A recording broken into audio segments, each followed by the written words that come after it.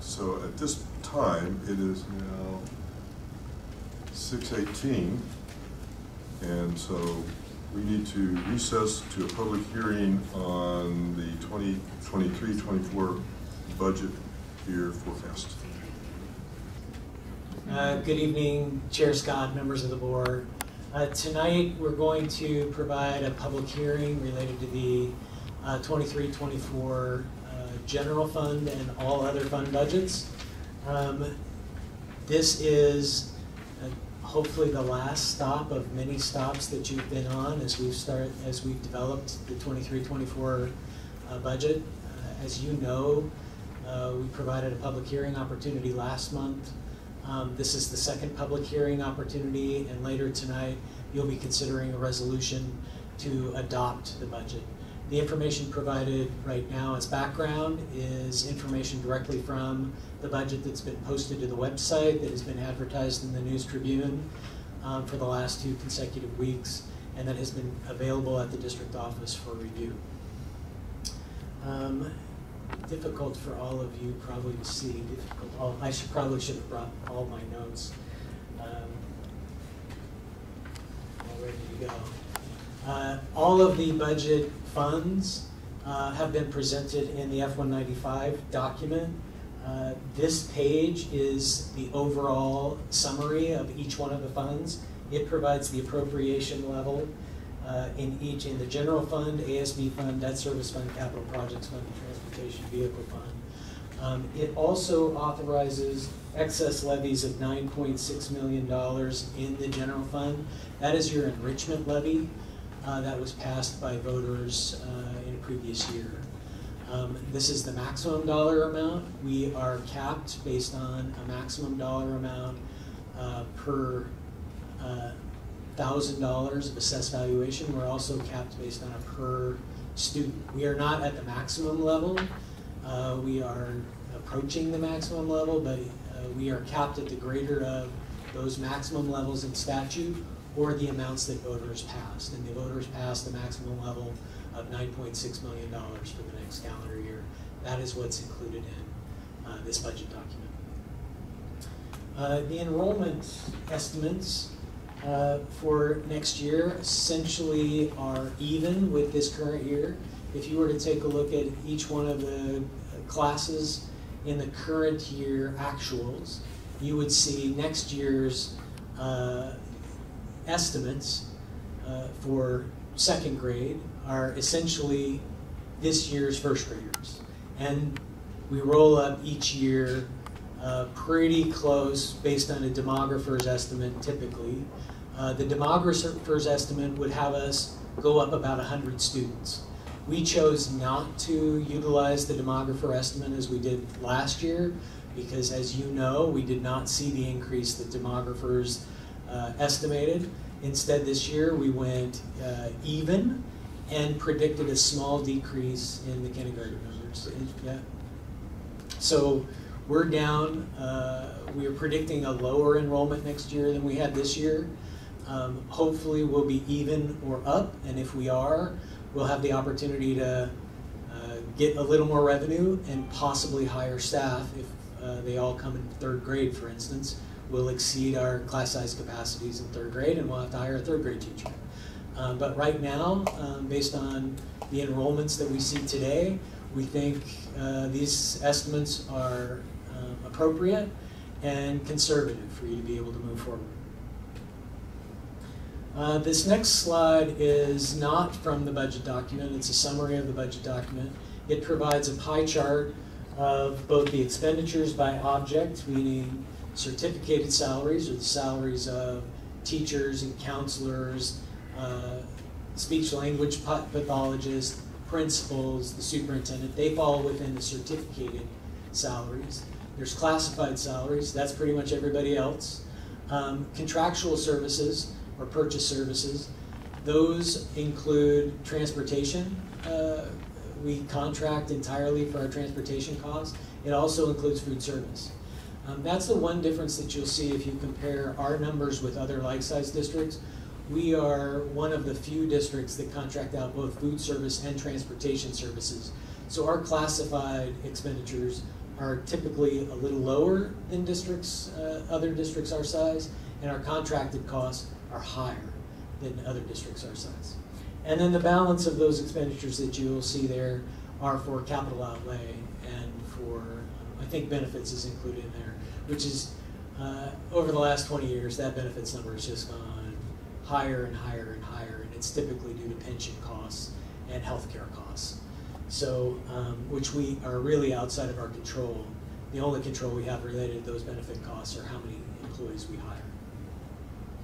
On the revenue side, uh, it's by source, which is uh, levy, state funding, federal funding, and other local resources. And the biggest part of that is our general fund, uh, or I'm sorry, state resources, both state general and state specific. So J state general is uh, the amount that's generated specifically based on the number of students we have, and state specific would be things like special ed grant, learning assistance program grant, or the LAP grant, uh, multi-language learner grants, all of those specific grants that are targeted for specific purposes. That, uh, those state funds make up the vast majority of our funds. Levy funds, the second biggest category. Uh, federal funds uh, comes in third if you think of local, state, and federal. Uh, we have the most number of requirements and spend the greatest amount of time dealing with federal requirements, and they provide the least amount of resources. That might have been uh, not entirely a, a fact-based comment. It is an opinion-based comment. They get too little resources for the amount of money they provide us. Uh, the debt service fund budget. Uh, this is the budget that pays for, that captures all of the payments for bonds. It also captures all of the receipts for um, bond, uh, for property taxes that are collected for bonds. This is the last year we'll be collecting um, money from taxpayers for bond payment. Um, and it pays, it will pay off the bonds. So you'll see we're collecting about, uh, we're collecting significantly less money than the amount we're spending, but that's because at the end of the year we'll have a lot of money sitting in the bank ready to pay off the bonds at the end of this calendar year. So um, at the end of the year, we will end with under a million dollars in our debt service fund, and some of that money is allowable to be paid for non uh, non-voted debt, or the $4 million we borrowed for the McNeil Street property, and some of that will just be held to pay for startup costs associated with the next bond. Uh, but it also, if the board decided not to move forward in the next several years with a bond, that money would be refunded to taxpayers.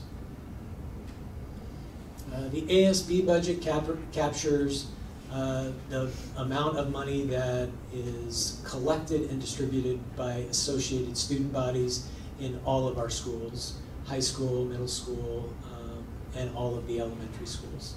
So uh, there's multiple processes for approval of those budgets. They're approved uh, by students first, and then they um, are all combined in one fund budget, and they are brought to you for approval of those overall dollar amounts typically the, we have an interest in making sure that the amounts collected are fully spent for the, to the benefit of those students in a relatively fast time frame. It's not always in the exact year, but it, typically can be in the next couple years after collection.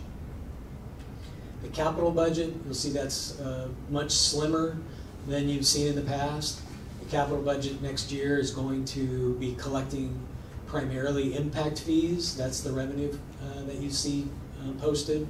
And all of that money is transferred in the budget to the debt service fund for payment of the $4 million debt for the payments over the next five years. So we're collecting impact fees to pay for the land, to pay for growth.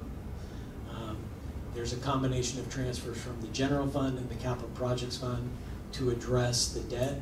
If a capital levy that you'll discuss later passes, then these transfers would no longer be required.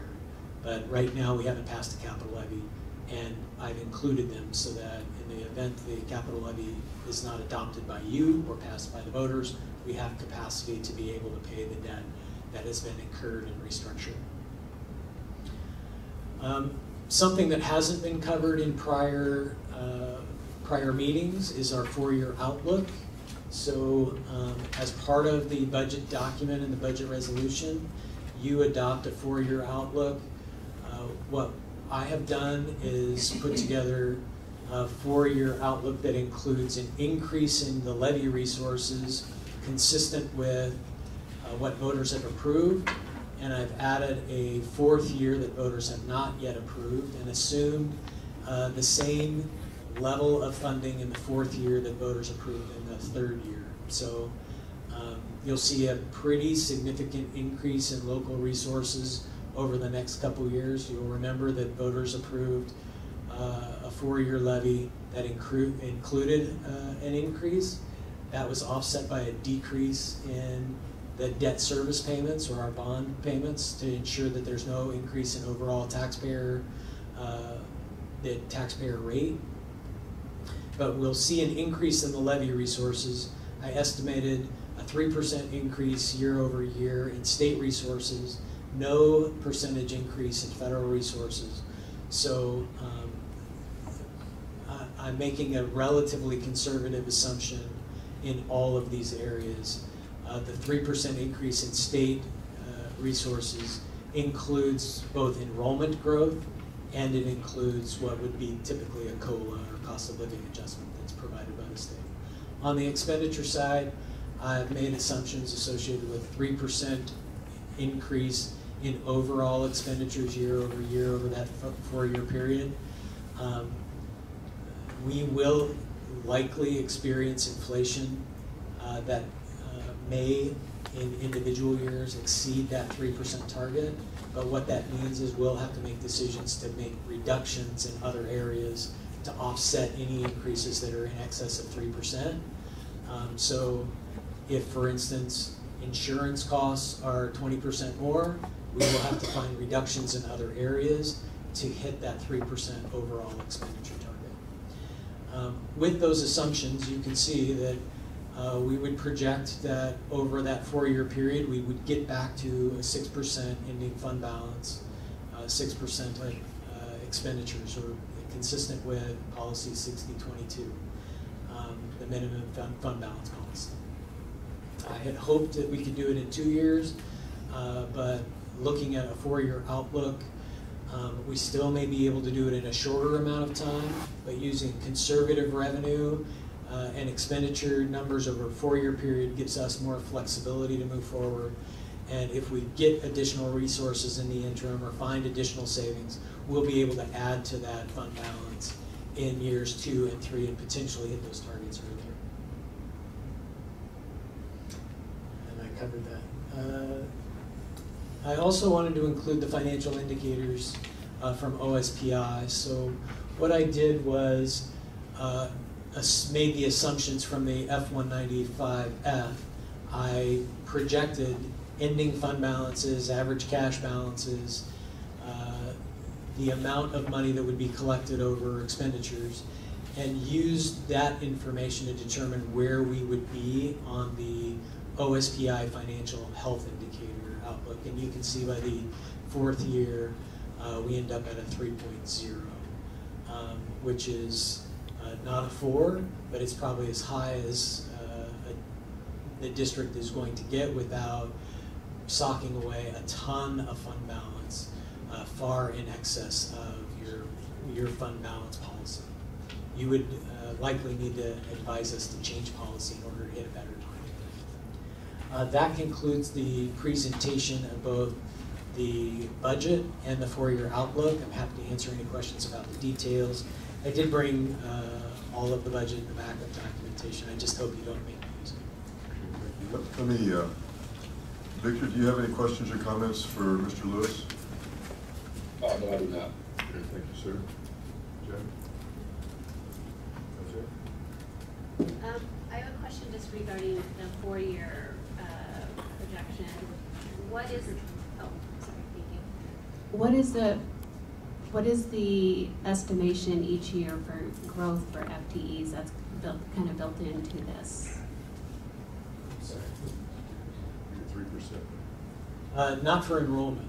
Um, The overall expenditures uh, and the revenue are both targeted at three percent.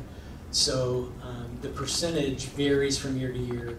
There are enrollment bubbles that uh, flow through, so sometimes you have a big year move out and there's a high birth year. So it's not a consistent percentage each year, but we are projecting a small amount of growth each year. You can see the, um, I'll pull that information out. We've got uh, from 23, 24 to 24, 25, we are projecting a small decrease because we've got uh, uh, enrollment bubble exiting.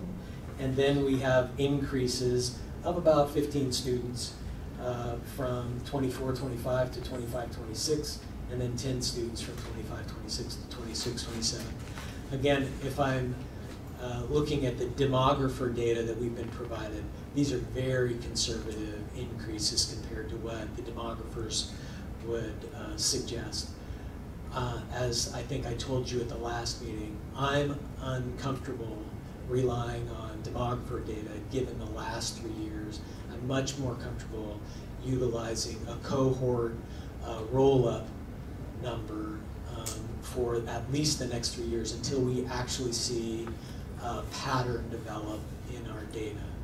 Um, right now, there's not a pattern, and it's difficult to make a predict prediction using the rearview mirror. So, um, doing the best we can with enrollment given an uncertain future. I have a question for you, Sean, that are other school districts similarly projecting their enrollments that, uh, because it's been really strange after COVID. You know, the students have left and, uh, I'm just wondering, if you talk to other people in your position that in neighboring school districts, are they feeling the same anxiety for the students' growth over the next few years? Uh, I don't know if they're feeling the same anxiety. I'm feeling a lot of anxiety. So, um, and part of that is the combination of uh, the the unpredictability. What I would say is the unpredictability of enrollment combined with our very low fund balance. That's what that's what causes me to be anxious.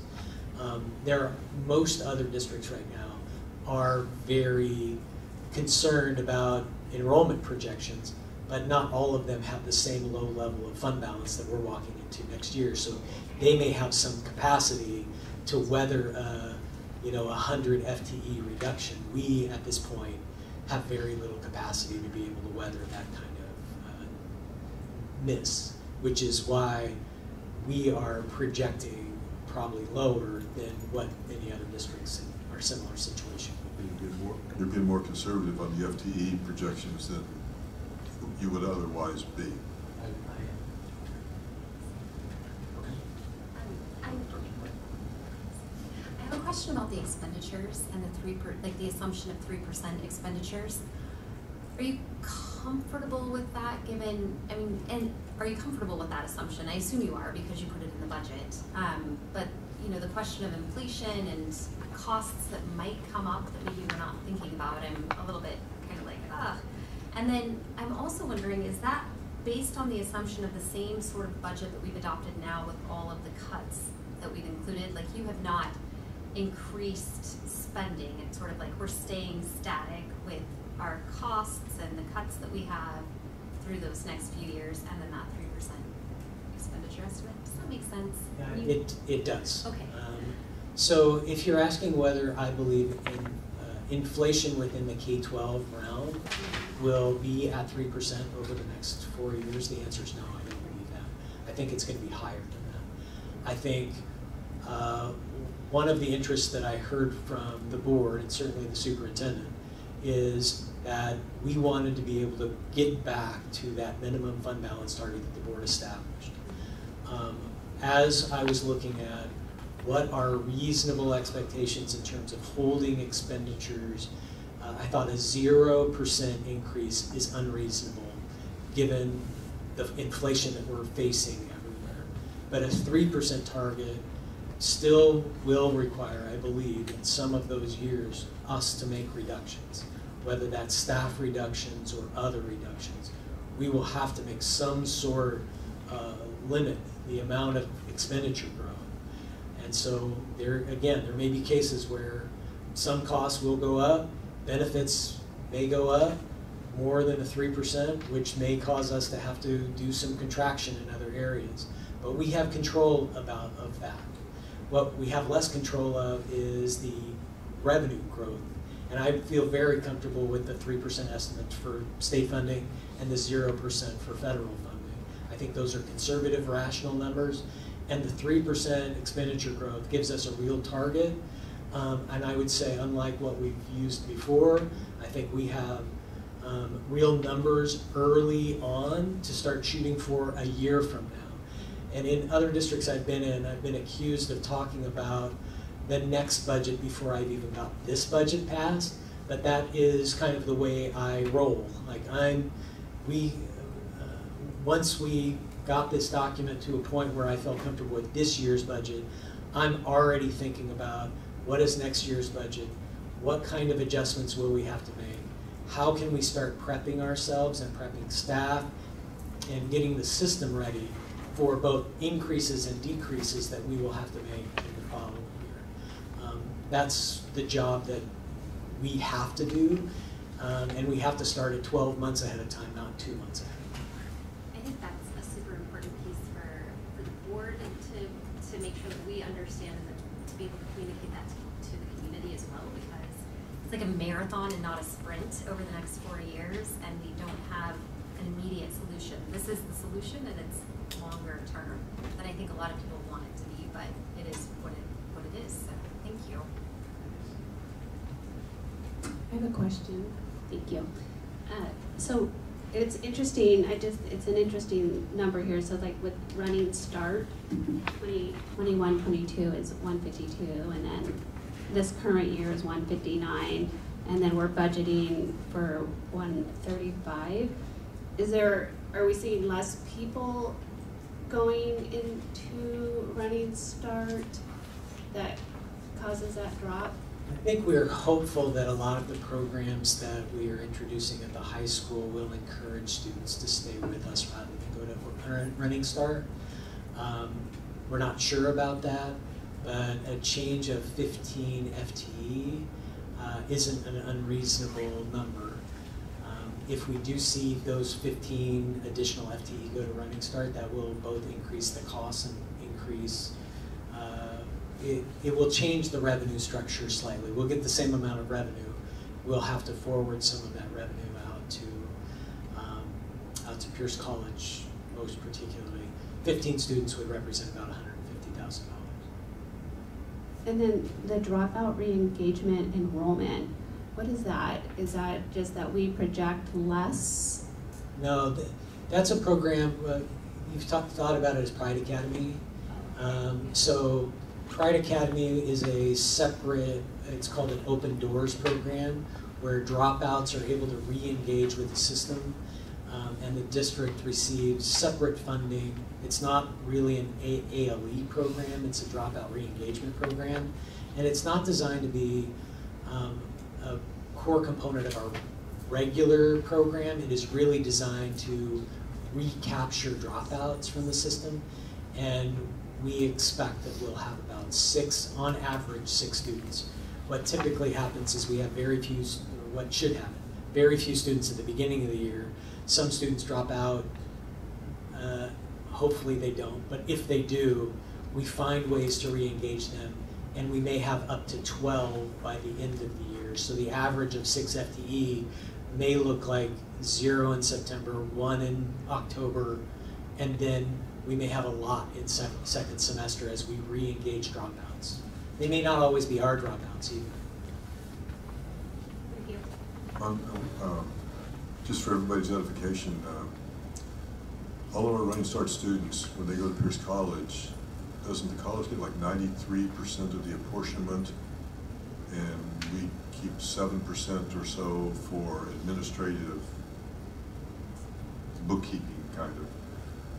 Yes, I would say, I, I frame it a little differently. The ninety-three percent is exactly right. Um, I. That, that is exactly the number. Um, it's, it doesn't, that seven percent doesn't cover the academic support that the high school provides. because we still provide counseling support and those other, it doesn't cover administrative overhead. It really covers the academic support that continues to be provided to those Running Start students. So if we have ten more students decide that because higher ed at a four-year school is so expensive, they're gonna choose Running Start, uh, ten more students could cause problems in our budget. You could I- Also increasing the offerings of college and high school Right. here and things like that, so they can still get those Try, credits. try to keep them here. Yeah. rather than get more of the FTEs. Okay, anyone have any other questions or comments for Mr. Lewis?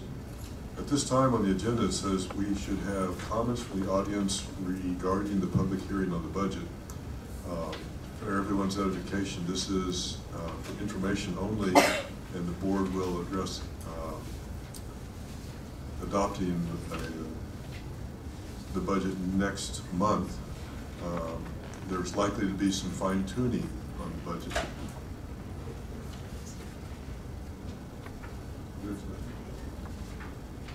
Old business days. Oh, old business, oh, you're right, I'm sorry. I was thinking of last year. Uh, Mr. Bungert, you are listed for uh, comments on the uh, public hearing. David zero two MacArthur Street, Yukon, Washington. Uh, number nine, A, whole business, approval of the budget for 2023-2024. If one of you board members during that discussion time frame could ask a question, because we can't find this information. We, we can find some, but we'd like some actual information. What was the district administration's budget in 2019, 2020? and what it is gonna be in this budget, 2023, 2024. We'd like to know the feedback, everything said, cut district administration.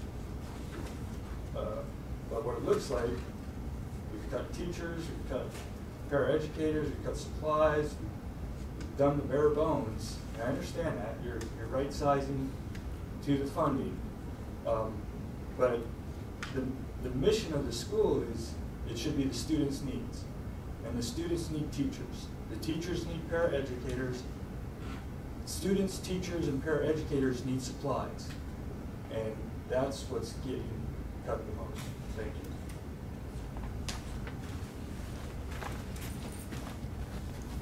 Okay, it is now uh, six forty-seven. So we'll return to our, uh, we'll end the public hearing, return to the uh, regular agenda, and